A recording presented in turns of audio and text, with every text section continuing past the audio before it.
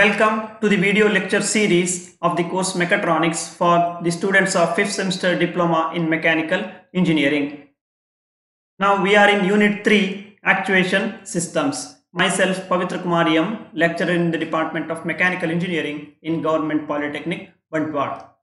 Before starting this session 3, we will have a quick review about the topics we have discussed in session 2. In previous session, we have already discussed about the MOSFETs and solenoids, and we have seen what are motors, and we have also discussed what are the classification of motors, and we have illustrated the working of brush type DC motors.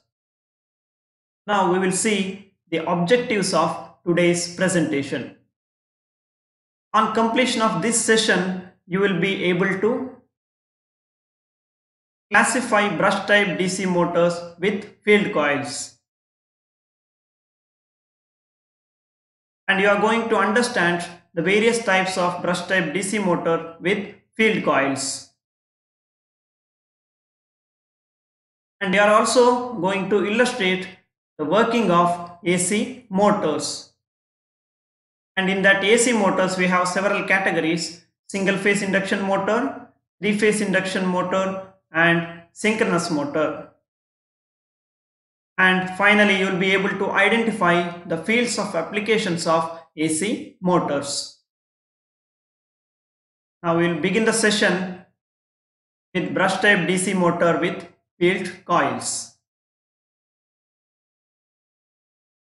Brush type DC electric motor is an internally commutated electric motor designed to be run from a direct current power source. ಅಂದ್ರೆ ಈ type of motor ಏನಿದೆ? ಇದು D C power source ಇಂದ run ಆಗುವಂತಹ ಒಂದು electric motor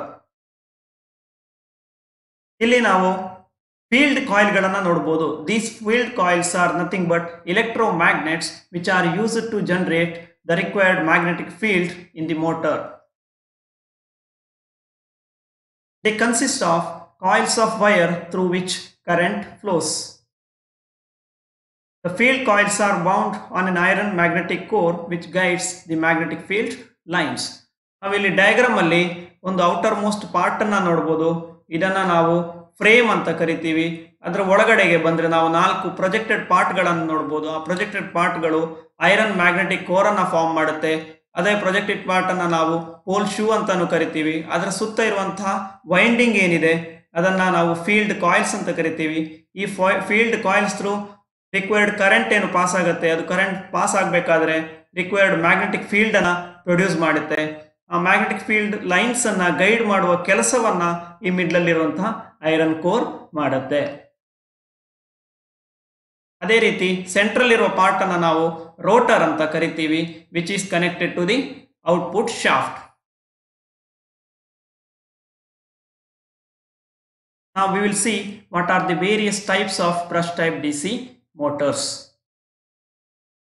So depending on the connectivity between the field coil windings and the armature conductor windings, we have various types of brush type DC motors. The first one is the series wound motor and second one is called the shunt wound motor and finally the combination of these two is called compound wound motor and we also have one more category separately excited motor in which there will be separate supply for field coils as well as for the armature conductors.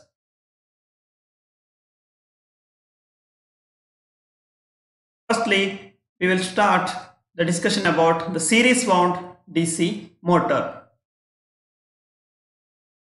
As the name implies, here, the field winding is connected internally in series to the armature winding. ನಾವಿಲ್ಲಿ ನೋಡ್ಬೋದು diagram ಅಲ್ಲೂ ಕೂಡ field coil winding ಏನಿದೆ? ಅದು series ಅಲ್ಲಿ armature coil winding ಜೊತೆ connect ಆಗಿದೆ. Does the field windings are expose to the entire armature current armature through ಏನು ಫುಲ್ ಕರೆಂಟ್ ಪಾಸ್ ಆಗುತ್ತೆ? ಆ ಫುಲ್ ಕರೆಂಟ್ ಫೀಲ್ಡ್ ಕಾಯಿಲ್ ಥ್ರೂನು ಪಾಸ್ ಆಗುತ್ತೆ ಬಿಕಾಸ್ ಎರಡು ಕೂಡ ಸೀರೀಸ್ ಅಲ್ಲಿ ಕನೆಕ್ಟ್ ಆಗಿದೆ. The field coils of DC series motor are wound with relatively fewer turns as the current through the field is its armature current and hence for the generation of magnetic field less number of turns are required. The wire is heavier as the diameter is considerably increased to provide minimum electrical resistance to the flow of full armature current. ಇಲ್ಲಿ ನಾವು ಎರಡು ಅಂಶಗಳನ್ನು ಗಮನಿಸಬೇಕಾಗಿದೆ ಏನಂದ್ರೆ field ಕಾಯಿಲ್ಸ್ಗಳಲ್ಲಿ less number of turns ಇರುತ್ತೆ. ಯಾಕೆಂದ್ರೆ ಅದರ through full armature current pass ಆಗೋದ್ರಿಂದಾಗಿ ಕಡಿಮೆ ನಂಬರ್ ಆಫ್ ಟರ್ನ್ಸ್ ಇಂದಾನೆ ನಮಗೆ ರಿಕ್ವೈರ್ಡ್ ಮ್ಯಾಗ್ನೆಟಿಕ್ ಫೀಲ್ಡ್ ಅನ್ನ ಜನರೇಟ್ ಮಾಡ್ಲಿಕ್ಕೆ ಸಾಧ್ಯ ಆಗುತ್ತೆ. ಅದೇ ರೀತಿ ಆ ವೈರ್ಗಳದ್ದು ಡಯಾಮೀಟರ್ ಏನಿದೆ, ಅದು ಕನ್ಸಿಡರಬಲಿ ಜಾಸ್ತಿ ಇರುತ್ತೆ. ಯಾಕೆಂತಂದ್ರೆ ಇಲ್ಲಿ ಫುಲ್ ಆರ್ಮೇಚರ್ ಕರೆಂಟ್ ಪಾಸ್ ಆಗ್ಬೇಕಂತ ಹೇಳಿದ್ರೆ ಮಿನಿಮಮ್ ಎಲೆಕ್ಟ್ರಿಕಲ್ ರೆಸಿಸ್ಟೆನ್ಸ್ ಅನ್ನು ಆಫರ್ ಮಾಡಬೇಕಾಗುತ್ತೆ. ಎಲೆಕ್ಟ್ರಿಕಲ್ ರೆಸಿಸ್ಟೆನ್ಸ್ ಕಡಿಮೆ ಬರಬೇಕು ಅಂದರೆ ನಮಗೆ ವೈರ್ ಡಯಾಮೀಟರ್ ಜಾಸ್ತಿ ಇದ್ದಾಗ ಮಾತ್ರ ಸಾಧ್ಯ ಆಗುತ್ತೆ. ಹಾಗಾಗಿ ಫೀಲ್ಡ್ ಕಾಯಿಲ್ಗಳಲ್ಲಿ ಲೆಸ್ ನಂಬರ್ ಆಫ್ ಟರ್ನ್ಸ್ ಇರುತ್ತೆ ಬಟ್ ಡಯಾಮೀಟರ್ ಕನ್ಸಿಡರಬಲಿ ಜಾಸ್ತಿ ಇರುತ್ತೆ. ಹೆವಿಯರ್ ವೈರ್ ಅನ್ನ ಯೂಸ್ ಮಾಡಿರ್ತೀವಿ.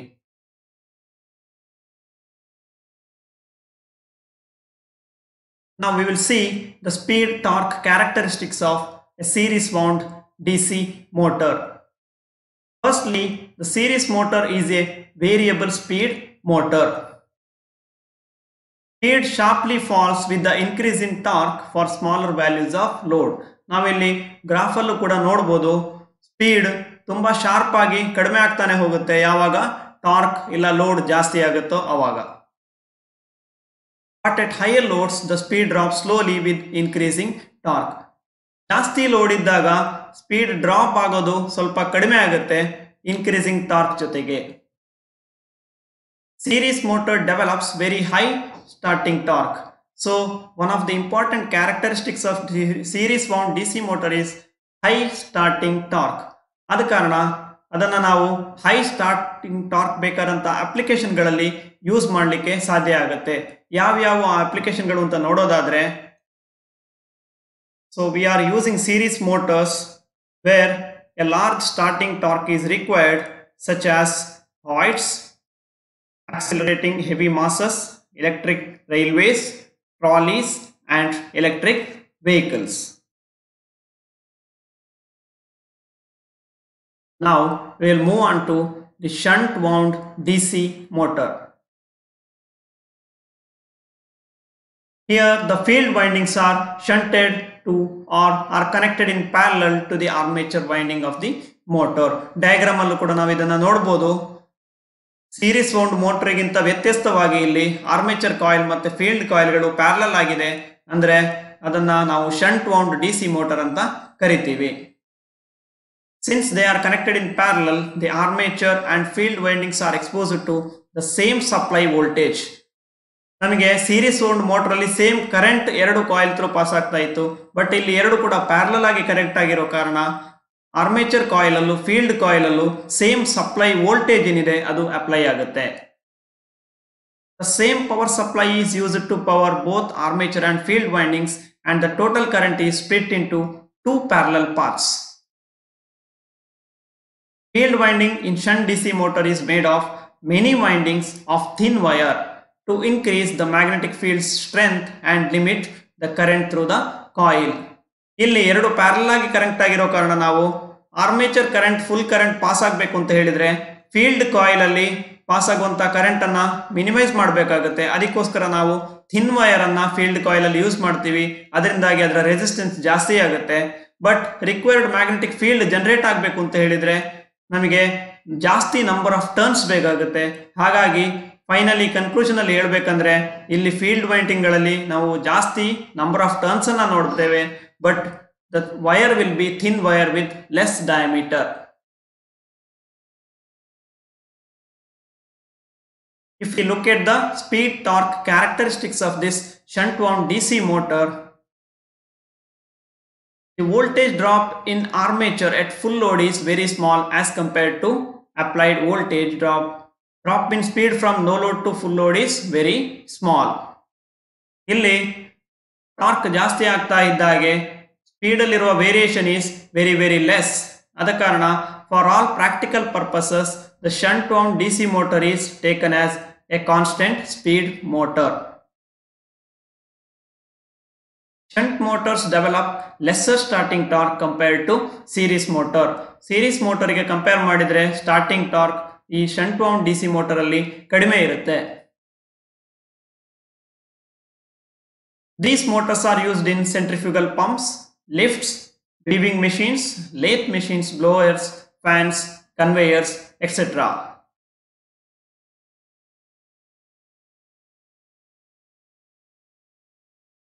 ಮುಂದೆ ಇದೆರಡರದ್ದು ಕಾಂಬಿನೇಷನ್ ಆಗಿ ಬರುವಂತಹ ಒಂದು type of D C motor ಅನ್ನು ನೋಡೋಣ. This is called compound wound D C motor it consist of both series and shunt field coils connected to the armature winding. Previous ಆಗಿ ಏನು ಎರಡು ರೀತಿಯಾದಂತಹ ನಾವು ಮೋಟರ್ಗಳನ್ನು ನೋಡಿದೆವೋ, ಅದರ ಎರಡರದ್ದು ಕಾಂಬಿನೇಷನ್ ಆಗಿ ನಾವಿಲ್ಲಿ ಕಾಂಪೌಂಡ್ ಡಿ ಸಿ ಮೋಟರಲ್ಲಿ ಫೀಲ್ಡ್ ಕಾಯಿಲ್ ಅನ್ನ ನೋಡಬಹುದು ಸೀರೀಸ್ ಹಾಗೂ ಪ್ಯಾರಲಲ್ ಆಗು ಕೂಡ ಈ ಫೀಲ್ಡ್ ಕಾಯಿಲ್ ಆರ್ಮೇಚರ್ ಕಾಯಿಲ್ ಜೊತೆ ಕನೆಕ್ಟ್ ಆಗಿರುತ್ತೆ DC compound motor is a combination of both shunt shunt and series series D C motors. Now we will see what are the various subcategories of this compound wound DC motor. So based on the connection of field winding with respect to the armature winding, we have long shunt compound motor and short shunt compound motor. ಯಾವ ರೀತಿ field winding armature armature winding connectivity ಇದೆ ಅನ್ನೋದ್ರ ಮೇಲೆ base ಆಗಿ ನಾವು long shunt motor ಮತ್ತು short shunt motor ಆಗಿಂತ ಎರಡು ರೀತಿಯಾದಂತಹ ಕಾಂಪೌಂಡ್ ಡಿ ಸಿ ಮೋಟರನ್ನು ಕ್ಯಾಟಗರೈಸ್ ಮಾಡಬಹುದು ಅದೇ ರೀತಿಯಾಗಿ based on the excitation or nature of compounding again we have two types cumulative compound motor and differential compound motor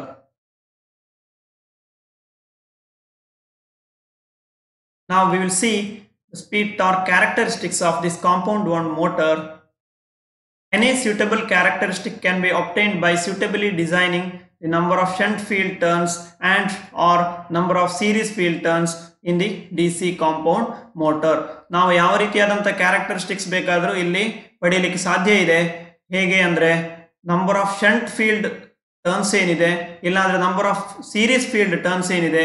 ಇದೆರಡರನ್ನ control ಮಾಡೋದ್ರ ಮುಖಾಂತರವಾಗಿ ನಮಗೆ ಸೀರೀಸ್ ಓಂಡ್ ಮೋಟ್ರಿಗೆ ಹತ್ತಿರವಾಗಿರುವಂತಹ ಕ್ಯಾರೆಕ್ಟರಿಸ್ಟಿಕ್ಸ್ ಅನ್ನ ಪಡೀಲಿಕ್ಕೆ ಸಾಧ್ಯ ಇದೆ. ಅದೇ ರೀತಿ ಶಂಟ್ ಓಂಡ್ ಮೋಟ್ರಿಗೆ ಹತ್ತಿರವಾಗಿರುವಂತಹ ಕ್ಯಾರೆಕ್ಟರಿಸ್ಟಿಕ್ಸ್ ಅನ್ನು ಕೂಡ ಪಡೀಲಿಕ್ಕೆ ಸಾಧ್ಯ ಇದೆ. ಹಾಗಾಗಿ ನಾವು ಇಲ್ಲಿ ಸ್ಪೀಡ್ ಟಾರ್ಕ್ ಕ್ಯಾರೆಕ್ಟರಿಸ್ಟಿಕ್ಸ್ ಅಲ್ಲಿ ಬೇರೆ ಬೇರೆ ರೀತಿಯಾದಂತಹ ಕರ್ವ್ಗಳನ್ನ ಕಾಣಬಹುದು number of windings in shunt ಮತ್ತೆ ಸೀರೀಸ್ ಅನ್ನು ನಾವು ಕಂಟ್ರೋಲ್ ಮಾಡೋದ್ರ ಮುಖಾಂತರವಾಗಿ ನಮಗೆ ಯಾವ ರೀತಿಯಾದಂತಹ ಕ್ಯಾರೆಕ್ಟರಿಸ್ಟಿಕ್ ಬೇಕು ಅನ್ನೋದನ್ನ ನಮಗೆ ಪಡ್ಕೊಳ್ಳಿಕ್ಕೆ ಸಾಧ್ಯ ಇದೆ.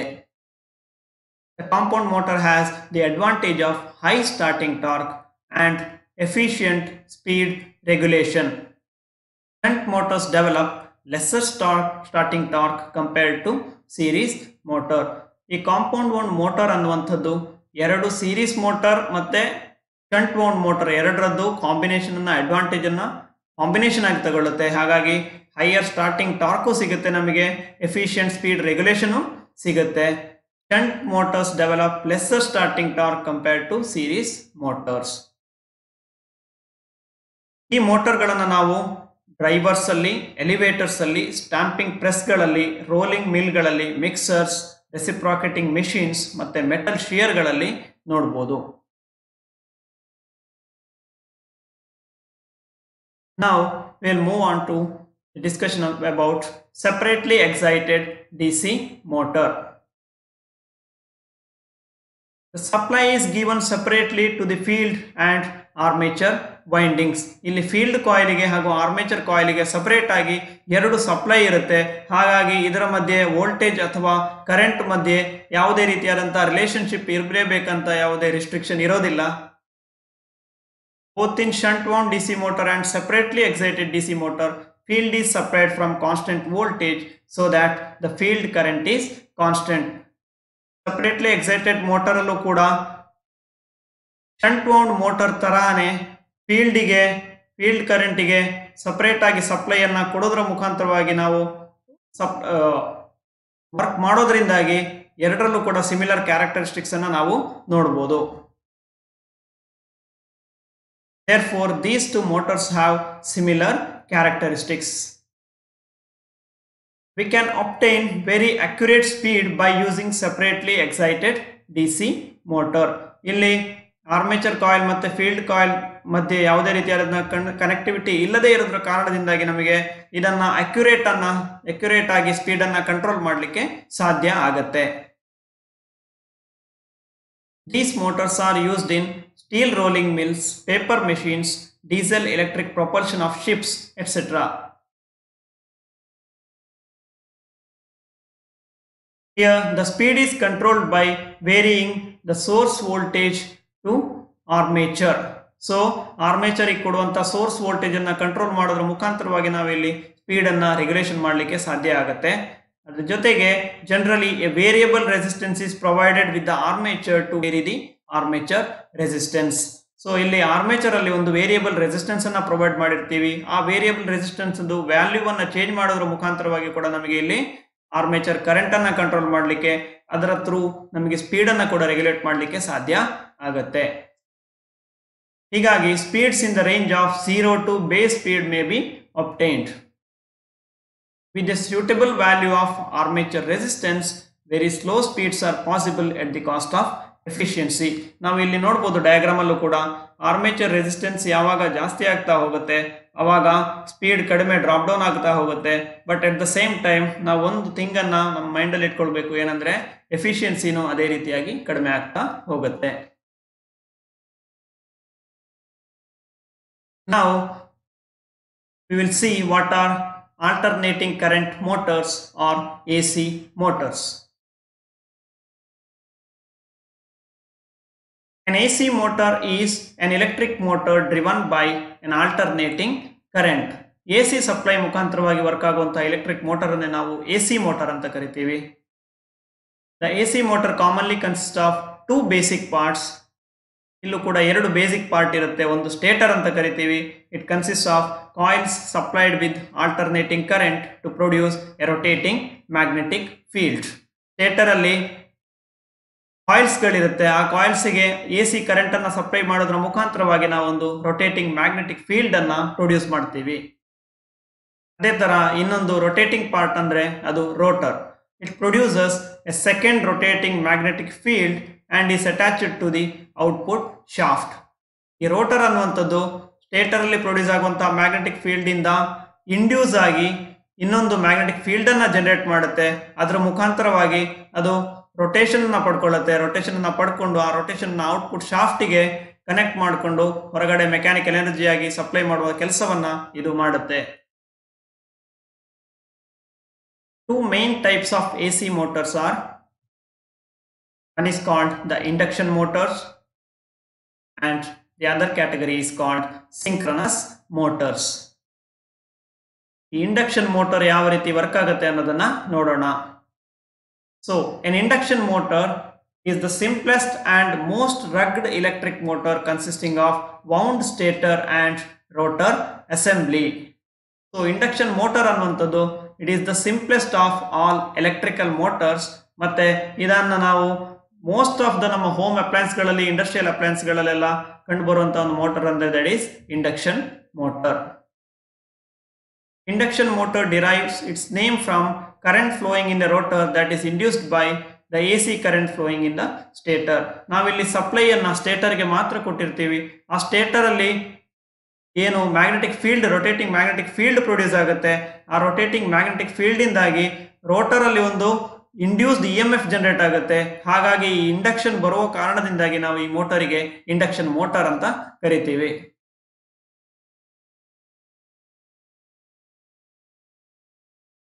The electromagnetic induction is the phenomenon in which the electromotive force induces across the electrical conductor when it is placed in a rotating magnetic field ನಾವಿಲ್ಲಿ ಡಯಾಗ್ರಾಮ್ ಅಲ್ಲಿ ಅನಿಮೇಷನ್ ಅಲ್ಲೂ ಕೂಡ ನೋಡಬಹುದು ಯಾವಾಗ ಒಂದು ಮ್ಯಾಗ್ನೆಟ್ ಅನ್ನ ಮೂವ್ ಮಾಡಿಕೊಂಡು ನಾವು ಒಂದು ಕಂಡಕ್ಟರ್ ಅಲ್ಲಿ ಮ್ಯಾಗ್ನೆಟಿಕ್ ಫೀಲ್ಡ್ ಅನ್ನ ಚೇಂಜ್ ಮಾಡ್ತೀವಿ, ಅವಾಗ ಅದು ವೋಲ್ಟೇಜ್ ಡೆವಲಪ್ ಮಾಡೋದನ್ನ ನಾವು ನೋಡಬಹುದು ಇದನ್ನೇ ನಾವು electromotive force induced E M F ಅಂತ ಕರಿತೀವಿ.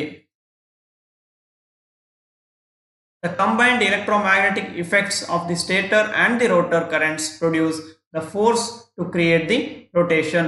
ಈ ಎರಡು ಫೀಲ್ಡ್ಗಳ ಮಧ್ಯೆ, ಅಂದರೆ ಸ್ಟೇಟರಲ್ಲಿ ಬರುವಂತಹ ಎಲೆಕ್ಟ್ರೋಮ್ಯಾಗ್ನೆಟಿಕ್ ಫೀಲ್ಡ್ ಅದೇ ಥರ ರೋಟರಲ್ಲಿ ಪ್ರೊಡ್ಯೂಸ್ ಆದಂತಹ ಇ ಎಂ ಎಫ್ ಇದರ ಮಧ್ಯೆ ಬರುವಂತಹ ಇಂಟರಾಕ್ಷನ್ ಇಂದಾಗಿ ರೋಟರ್ ಅನ್ನುವಂಥದ್ದು ರೊಟೇಷನ್ನ ಡೆವಲಪ್ ಮಾಡಲಿಕ್ಕೆ ಸಾಧ್ಯ ಆಗುತ್ತೆ ಈಗ ಇಂಡಕ್ಷನ್ ಮೋಟರ್ದು ಒಂದು ಕ್ಯಾಟಗರಿ ಆಗಿರುವಂತಹ single phase squirrel cage induction motor ಯಾವ ರೀತಿ ಇರುತ್ತೆ, ಅದು ಯಾವ ರೀತಿ ಕೆಲಸ ಮಾಡುತ್ತೆ ಅನ್ನೋದನ್ನ ನೋಡೋಣ. It consist of squirrel cage rotor this this copper or or bars that fit into the slots in the end rings to form complete electric circuits ನಾವಿಲ್ಲಿ ಡಯಾಗ್ರಾಮ್ ಅಲ್ಲೂ ಕೂಡ ನೋಡ್ಬೋದು. ಇಲ್ಲಿ ರೋಟರ್ ಪಾರ್ಟ್ ಏನಿದೆ, ಅದರ ಶೇಪ್ ಸ್ಪಿರಲ್ ಕೇಜ್ ತರ ಇರೋದ್ರಿಂದಾಗಿ ಅದನ್ನ ನಾವು ಸ್ಪಿರಲ್ ಕೇಜ್ ರೋಟರ್ ಅಂತ ಕರಿತೀವಿ. ಆ ಸ್ಪಿರಲ್ ಕೇಜ್ ರೋಟರ್ ಅಲ್ಲಿ ಕಾಪರ್ ಮತ್ತೆ ಅಲ್ಯೂಮಿನಿಯಂ ಬಾರ್ಗಳಿರುತ್ತೆ ಸ್ಲಾಟ್ಗಳು ಯಾವ್ದು ಪ್ರೊವೈಡ್ ಮಾಡಿರ್ತಾರೆ? ಅಲ್ಲಿ ಆ ಬಾರ್ಗಳನ್ನ ನಾವು ನೋಡ್ಬೋದು. ಅದ್ರ ಜೊತೆಗೆ ಆ ಎರಡು ಬಾರ್ಗಳದ್ದು ಎಂಡ್ಗಳೇನಿದೆ ಅದು ಎರಡು ಸೈಡಲ್ಲೂ ಕೂಡ ಎಂಡ್ ರಿಂಗ್ಸ್ ಅಲ್ಲಿ ಹೋಗಿ ಫಿಟ್ ಆಗುತ್ತೆ. ಅದರಿಂದಾಗಿ ಆ ಎಲೆಕ್ಟ್ರಿಕ್ ಸರ್ಕ್ಯೂಟ್ ಅನ್ನುವಂಥದ್ದು ಕಂಪ್ಲೀಟ್ ಆಗುತ್ತೆ. There are no external electrical connections to the rotor ನಾವಿಲ್ಲಿ ಗಮನಿಸಬೇಕಾದ ಒಂದು ಅಂಶ ಡಿ ಸಿ ಮೋಟರ್ ಇಂದ ಸಪರೇಟ್ ಆಗಿ ಎ ಸಿ ಮೋಟರ್ಲಿ ಬರುವಂತ ಅಂಶ ಏನಂತಂದ್ರೆ ರೋಟರಿಗೆ ಯಾವುದೇ ರೀತಿಯಾದಂತ ಎಕ್ಸ್ಟರ್ನಲ್ ಎಲೆಕ್ಟ್ರಿಕಲ್ ಕನೆಕ್ಷನ್ ಇರ್ಬೋದು ಸಪ್ಲೈ ಇರಬಹುದು ಇರೋದಿಲ್ಲ. The basic motor consist of this rotor with a stator having a set of windings ನಾವಿಲ್ಲಿ ಎಂಡ್ ವ್ಯೂ ಅನ್ನ ನೋಡಿದ್ರೆ ಮಿಡ್ಲಲ್ಲಿ ನಾವು ಕಂಡಕ್ಟರ್ಸ್ ಇರುವಂತಹ ರೋಟರ್ ಅನ್ನ ನೋಡ್ಬೋದು. ಅದೇ ರೀತಿ ಹೊರಗಡೆ ಎರಡು ಸೈಡನ್ನು ಕೂಡ ನಾವು ಸ್ಟೇಟರ್ ಪೋಲ್ ಗಳನ್ನ ನೋಡಬಹುದು ಹಾಗೂ ಸ್ಟೇಟರ್ ವೈಂಡಿಂಗ್ಗಳನ್ನು ಕೂಡ ನೋಡ್ಬೋದು.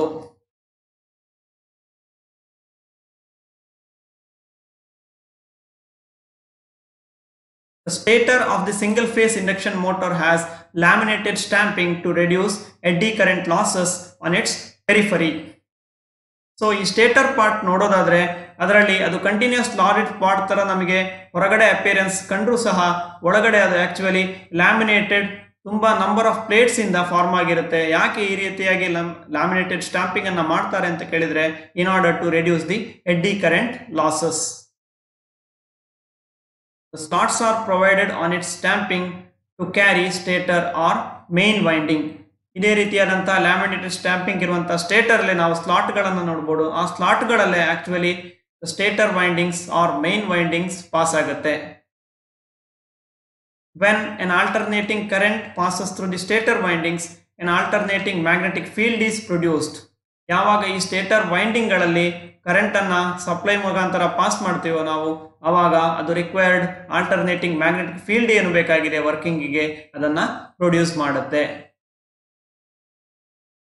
As a result of electromagnetic induction, EMFs are induced in the conductors of the rotor and current flows in the rotor. ಹಾಗಾಗಿ ಸ್ಟೇಟರಲ್ಲಿ ಪ್ರೊಡ್ಯೂಸ್ ಆಗದಂತಹ ಏನು ಆಲ್ಟರ್ನೇಟಿವ್ ಮ್ಯಾಗ್ನೆಟಿಕ್ ಫೀಲ್ಡ್ ಇದೆ. ಅದರಿಂದಾಗಿ ರೋಟರ್ ಇರುವಂತಹ ಕಂಡಕ್ಟರ್ ಅಲ್ಲೂ ಕೂಡ ಒಂದು induced E M F generate ಆಗುತ್ತೆ. ಆ ಇ ಎಂ ಎಫ್ ಇಂದಾಗಿ ಕರೆಂಟ್ ಕೂಡ ಫ್ಲೋ ಆಗಲಿಕ್ಕೆ ಸ್ಟಾರ್ಟ್ ಆಗುತ್ತೆ. ಆದರೆ ರೋಟರ್ಗೆ ಯಾವುದೇ ಆದಂತಹ ಎಕ್ಸ್ಟರ್ನಲ್ ಎಲೆಕ್ಟ್ರಿಕ್ ಸಪ್ಲೈ ಇರೋದಿಲ್ಲ.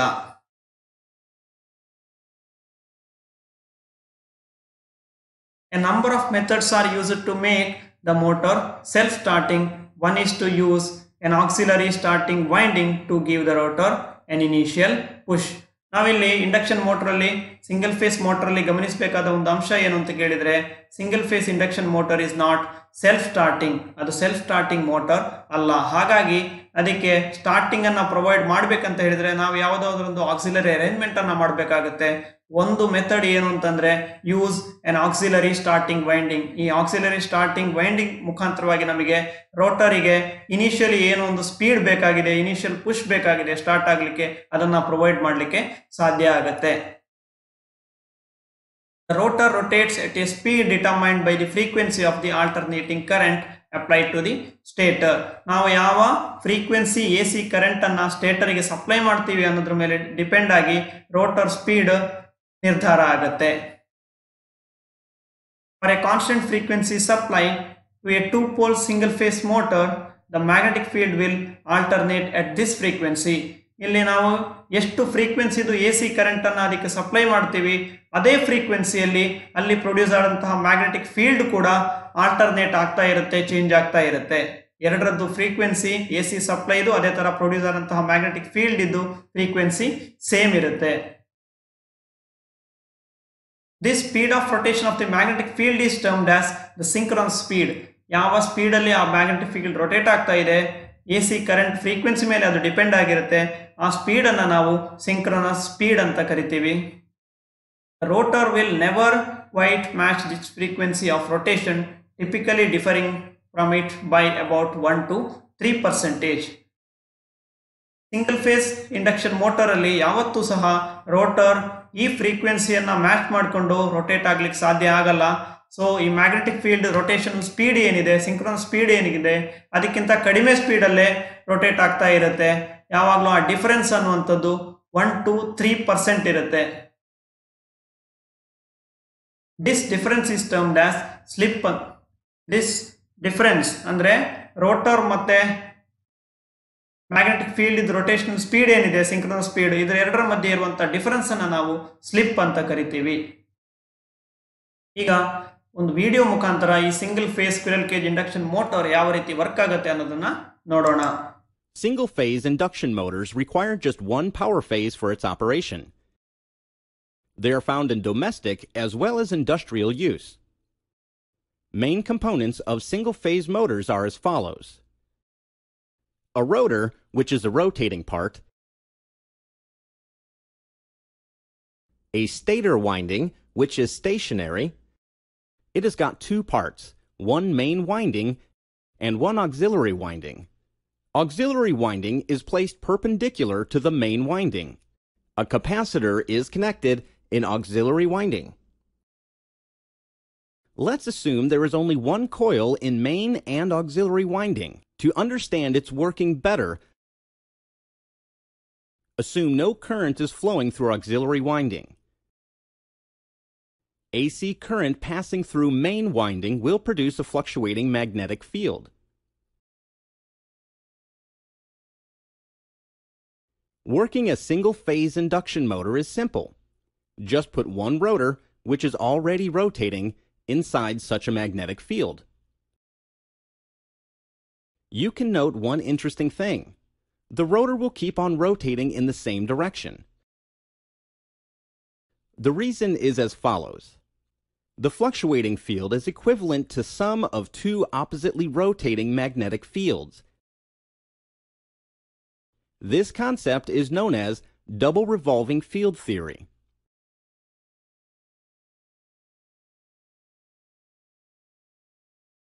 Effect of rotating magnetic field on rotor is interesting.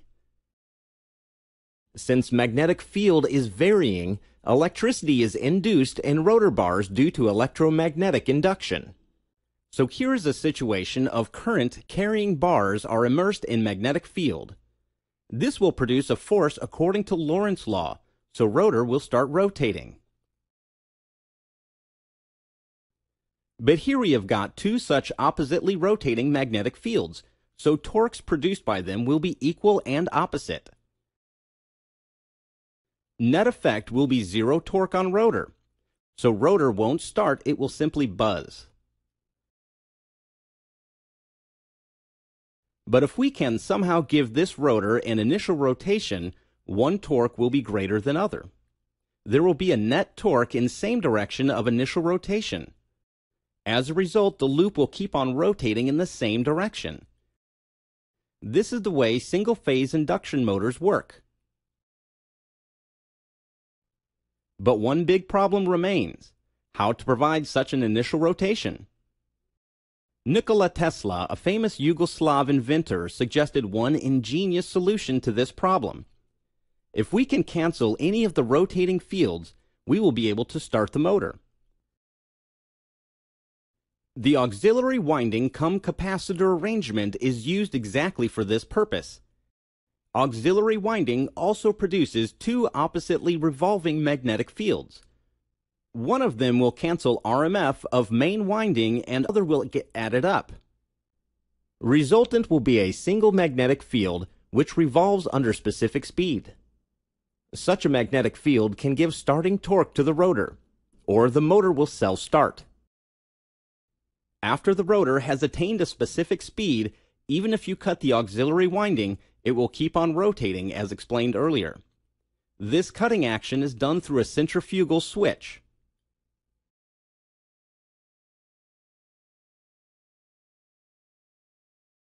That's all about working of single-phase motors. Thank you. Through this video, we have seen how a single phase squirrel cage induction motor works. Now we will move on to the next type of induction motor that is three phase induction motor. It has a stator with three windings located 120 degree apart, each winding being connected to one of the three lines of the supply. ನಮ್ಗೆ ಗೊತ್ತಿದ್ದ ಹಾಗೆ three phase connection ಅಂತ ಹೇಳಿದ್ರೆ ಮೂರು face lines ಇರುತ್ತೆ ಅಲ್ಲಿ. ಆ ಮೂರು ಲೈನ್ಸ್ ಅನ್ನ ನಾವು ಸಪರೇಟ್ ಆಗಿ ಮೂರು ಸ್ಟೇಟರ್ ವೈಂಡಿಂಗ್ಸ್ಗೆ ಕನೆಕ್ಟ್ ಮಾಡಿರ್ತೀವಿ. ಆದ ಕಾರಣ ಇದನ್ನ ನಾವು ತ್ರೀ ಫೇಸ್ ಇಂಡಕ್ಷನ್ ಮೋಟರ್ ಅಂತ ಕರಿತೀವಿ. Because the three phases reach their maximum currents at different times the magnetic field can be considered to rotate round the stator poles completing one rotation in full cycle of the current.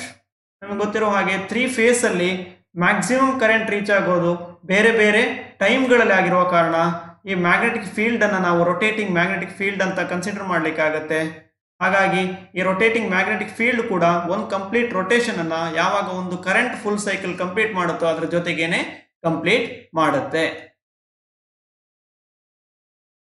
Rotation of the field is much smoother than with the single phase motor single phase ಮೋಟಾರ್ಗಿಂತ improved version of magnetic field rotation ಅನ್ನ ನಾವು ಇಲ್ಲಿ three phase induction motor ಅಲ್ಲಿ ಕಾಣ್ಲಿಕ್ಕೆ ಸಾಧ್ಯ ಇದೆ. ಯಾಕೆಂತಂದ್ರೆ ಇಲ್ಲಿ ಮೂರು separate ಆಗಿ ಫೇಸ್ಗಳಿಗೆ ಕನೆಕ್ಟ್ ಆಗಿರುವಂತಹ ಮೂರು ವೈಂಡಿಂಗ್ಸ್ ಇದೆ. ಮೂರಲ್ಲೂ ಕೂಡ ಒನ್ ಟ್ವೆಂಟಿ ಡಿಗ್ರಿ ಅಪಾರ್ಟ್ ಆಗಿರುವಂತಹ ಸಪ್ಲೈ ಸಪ್ಲೈ ಕರೆಂಟ್ ಸಪ್ಲೈ ಆಗುತ್ತೆ.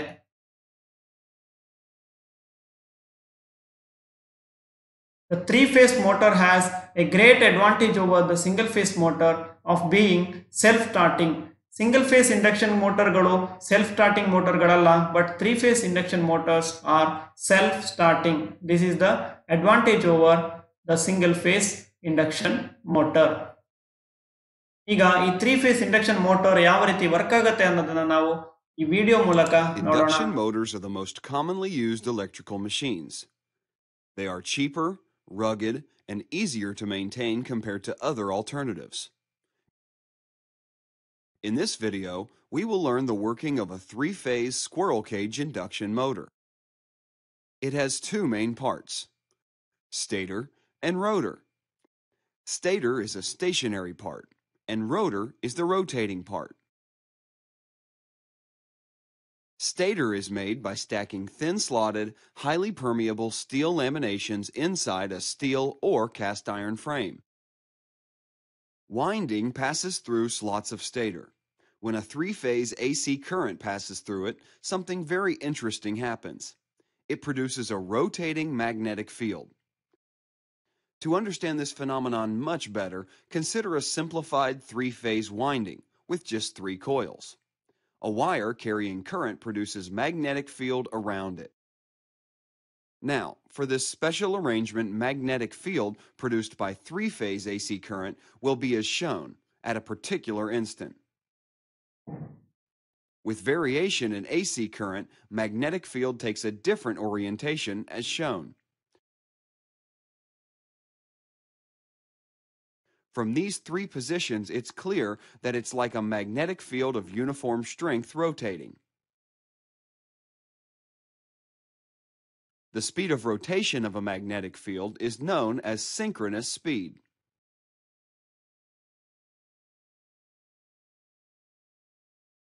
Assume you're putting a closed conductor inside it. Since the magnetic field is fluctuating, an EMF will be induced in the loop according to Faraday's law. The EMF will produce a current through the loop. So, the situation has become like a current carrying loop is situated in a magnetic field. This will produce magnetic force in loop, according to Lorentz law. So, the loop will start rotating. A similar phenomenon happens inside an induction motor also. Here, instead of a simple loop, something very similar to a squirrel cage is used. Three-phase AC current passing through stator winding produces a rotating magnetic field. So, as in the previous case, current will be induced in bars of squirrel cage, which is shortened by end rings, and will start rotating. That's why it's called an induction motor. Electricity is inducted in the rotor by magnetic induction rather than direct electric connection. To aid such electromagnetic induction, insulated iron core lamina are packed inside the rotor. Such small slices of iron make sure that eddy current losses are minimum. This is another big advantage of a three-phase induction motor. It is inherently self-starting. So, you can see here that both magnetic field and rotor are rotating. But at what speed will the rotor rotate? To obtain this answer, let's consider different cases. Consider a case where the rotor speed is the same as the magnetic field speed. Since both are rotating at the same speed, the rotating loop will always experience constant magnetic field. So, there won't be any induced EMF and current. This means zero force on rotor bars. So, the rotors will gradually slow down. But as it slows down, rotor loops will experience a varying magnetic field. So, induced current and force will rise again. And the rotor will speed up. In short, the rotor will never be able to catch up with the speed of the magnetic field. It rotates at a specific speed, which is slightly less than synchronous speed. The difference between synchronous and rotor speed is known as slip. Rotational mechanical power is transferred through a power shaft. In short, in an induction motor, electrical energy is entered via stator and output from motor. Mechanical rotation is received from rotor. Energy loss during motor operation is dissipated as heat. So, a fan at the other end helps in cooling down the motor. Hope you got a good introduction on the working of induction motors. Thank you. Through this video, we have seen how a three-phase induction motor develops its rotational energy. Now, we will move on to the discussion about the third type of AC motor that is synchronous motor. Synchronous motors have stators similar to induction motors but a rotor which is a permanent magnet or an electromagnet excited by a separate DC supply.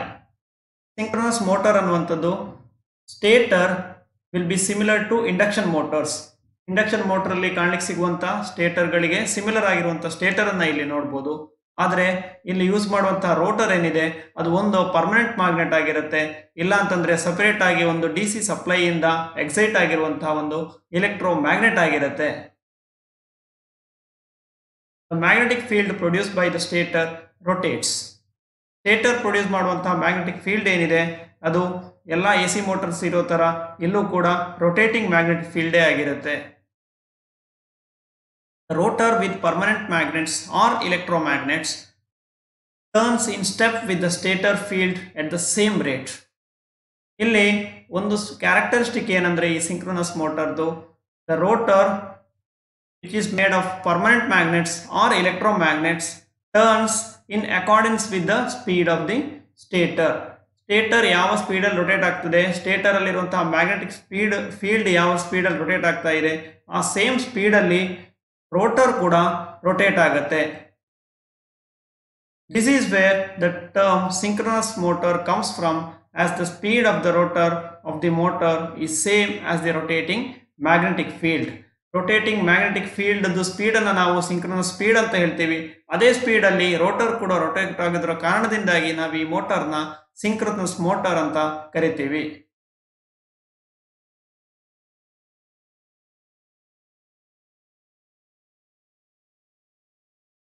Synchronous motors are inherently not self starting single phase induction motor ಅಲ್ಲಿ ನಾವು ನೋಡಿದ್ವಿ, ಅವು not self starting ಅಂದ್ರೆ initially ಬೇಕಾದಂತ starting torque ಅನ್ನ produce ಮಾಡ್ಬೇಕಂತ ಹೇಳಿದ್ರೆ ಅದಕ್ಕೊಂದು ಇನಿಷಿಯಲ್ ಪುಷ್ ಅನ್ನ ಕೊಡಬೇಕಾಗುತ್ತೆ. ಅದೇ ತರ ಸಿಂಕ್ರನಸ್ ಮೋಟರ್ಗಳಲ್ಲೂ ಕೂಡ ಸೆಲ್ಫ್ ಸ್ಟಾರ್ಟಿಂಗ್ ಅಲ್ಲದೆ ಇರೋ ಕಾರಣದಿಂದಾಗಿ ಅದಕ್ಕೆ ಇನಿಷಿಯಲಿ ಒಂದು ಸ್ಟಾರ್ಟಿಂಗ್ ಅನ್ನ ಕೊಡ್ಲಿಕ್ಕೋಸ್ಕರ ಒಂದು ಆಕ್ಸಿಲರಿ ಅರೇಂಜ್ಮೆಂಟ್ ಅನ್ನ ನಾವು ಮಾಡಬೇಕಾಗತ್ತೆ.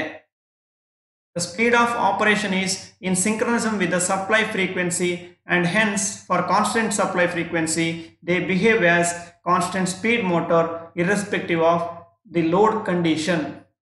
ಇಲ್ಲಿ ನಾವು ಗಮನಿಸಬೇಕಾದಂತಹ ಇನ್ನೊಂದು ಅಂಶ ಏನಂತ ಹೇಳಿದ್ರೆ ಸಿಂಕ್ರನಸ್ ಮೋಟರ್ಗಳ ಸ್ಪೀಡ್ ಯಾವಾಗಲೂ ಲೋಡ್ ಮೇಲೆ ಡಿಪೆಂಡ್ ಆಗಲ್ಲ ಅದರ ಸ್ಪೀಡ್ ಏನಿದ್ರೂ ಕೂಡ ಡಿಪೆಂಡ್ ಆಗುವಂಥದ್ದು ಒಂದೇ ಒಂದು ಫ್ಯಾಕ್ಟರ್ ಮೇಲೆ ಅದು ಯಾವುದು ಅಂತ ಹೇಳಿದ್ರೆ ಸಪ್ಲೈ ವೋಲ್ಟೇಜ್ ಇದು ಫ್ರೀಕ್ವೆನ್ಸಿ ಏನಿದೆ, ಅದರ ಮೇಲೆ ಡಿಪೆಂಡ್ ಆಗುತ್ತೆ.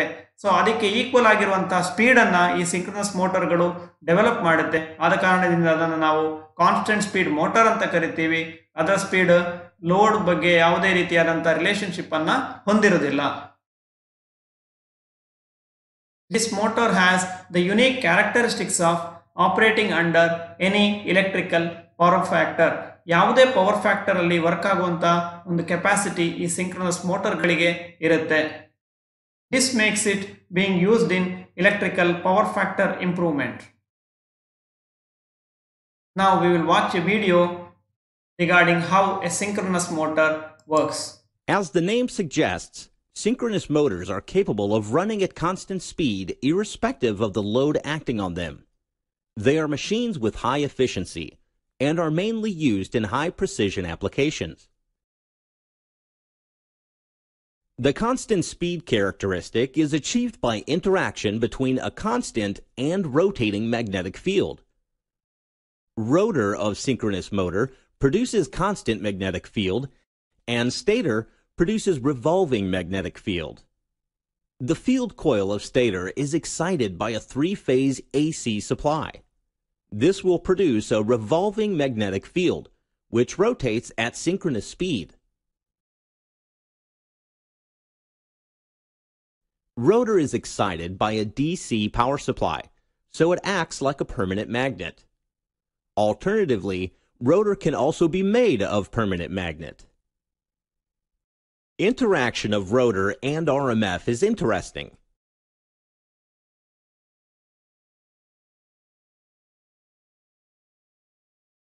Assume you are giving an initial rotation to the rotor with same direction of RMF. You can see that opposite poles of RMF and rotor will attract each other and they will get locked magnetically.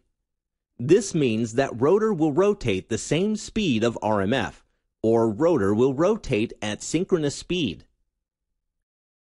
Synchronous speed can easily be derived as follows. This means that if one has got control over frequency of the electricity, speed of synchronous motor can be very accurately controlled. But if the rotor has got no initial rotation, situation is quite different. North pole of the rotor will obviously get attracted by south pole of RMF and will start to move in the same direction. But since the rotor has got some inertia, this starting speed will be very low. By this time, south pole of RMF will be replaced by a north pole, so it will give repulsive force.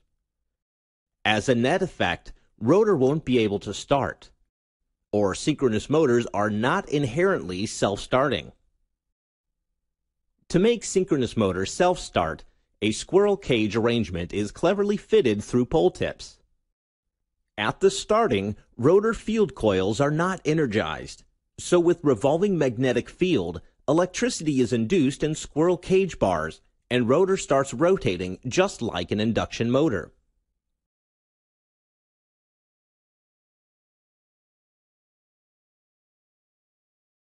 When the rotor has achieved its maximum speed, rotor field coils are energized. So as discussed earlier, poles of rotor gets locked with poles of RMF and will start rotating at synchronous speed. When rotor rotates at synchronous speed, relative motion between squirrel cage and RMF is zero. This means zero current and force on squirrel cage bars. Thus, it will not affect synchronized operation of motor. Synchronous motors will produce constant speed irrespective of motor load only if the load is within the capability of motor. If external torque load is more than torque produced by the motor, it will slip out of synchronism and will come to rest. Low supply voltage and excitation voltage are other reasons of going out of synchronism. It is interesting to note that synchronous motor has got the same constructional features of an alternator. Synchronous motors also helps in improving overall power factor of the system. That's all about working of synchronous motors. Thank you. With this video, we have understood how a synchronous motor works. Finally, we will see what are the applications of alternating current motors. we can see AC motors in various home appliances as well as industrial appliances. ಅದೇ ರೀತಿ ನಾವು compressor ಡ್ರೈವ್ಗಳಲ್ಲೂ ಸಿಸ್ಟಮ್ಗಳಲ್ಲೂ ಕೂಡ ಈ A C motors ಅನ್ನ ನೋಡ್ಬೋದು we can also see A C motors in computers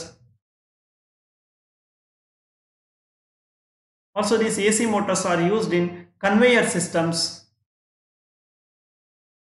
ಅದೇ ರೀತಿ ಫ್ಯಾನ್ಸ್ಗಳಲ್ಲಿ ಮತ್ತೆ ಏರ್ ಕಂಡೀಷನರ್ಗಳು ಕೂಡ ನಾವು ಎ ಸಿ ಮೋಟರ್ನ ಅಪ್ಲಿಕೇಶನ್ಗಳನ್ನು ನೋಡ್ಬೋದು. ಹಾಗೆ ಹೈಡ್ರಾಲಿಕ್ ಮತ್ತೆ ಇರಿಗೇಷನ್ ಪಂಪ್ಗಳಲ್ಲೂ ಕೂಡ ನಾವು ಎ ಸಿ ಮೋಟರನ್ನು ಯೂಸ್ ಮಾಡಿರೋದನ್ನ ನೋಡ್ಬೋದು. And finally transportation equipments also we can see A C motors ನಾವು we will summarize today's session. What are the topics we have discussed today? We have seen the brush type dc motors with field coils. What are its various categories? Series wound motor shunt wound motor compound wound motor and finally separately excited motor.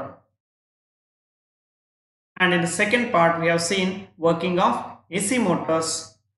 In AC motors, we have seen the categories single phase induction motor, three phase induction motor, and synchronous motor. And finally, we have seen various applications of this AC motors. So, with this, we are ending the session and it's the question time.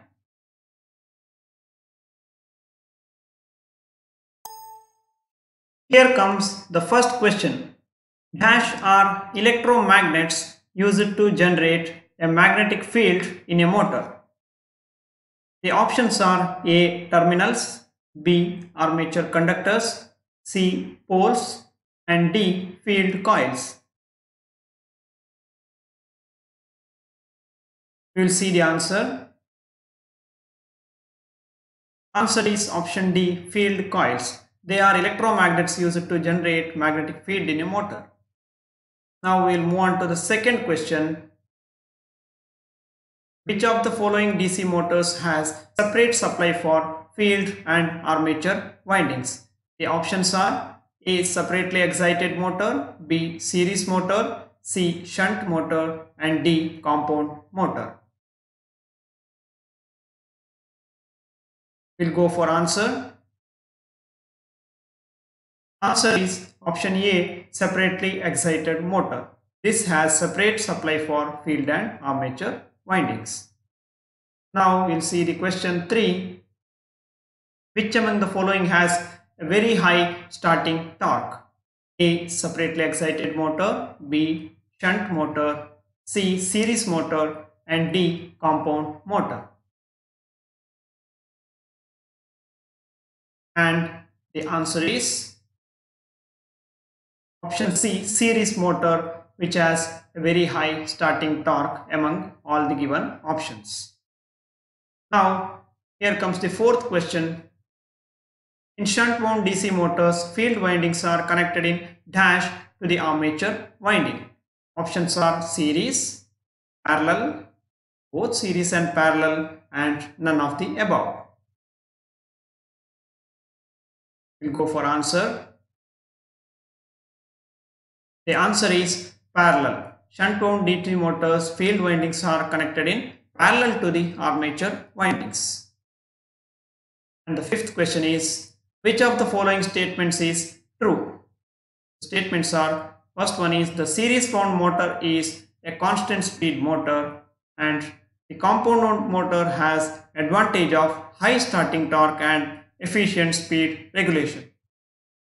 Options only one, only two, both one and two, D none. We'll see the answer. Answer is only two. Second statement is the correct statement. Now we'll see the sixth question. Which of the following pairs is currently matched? Induction motor less than synchronous speed, synchronous motor equal to synchronous speed. A 1 only, B 2 only, C both 1 and 2, D none. Now we will view the answer. The answer is both 1 and 2. Both the pairs are currently matched. Induction motor has less than synchronous speed while synchronous motor has equal to synchronous speed. Now the next question is in induction motors usually squirrel cage type structure is given for which of the following? A. Rotor B. Housing C. Stator D. Field windings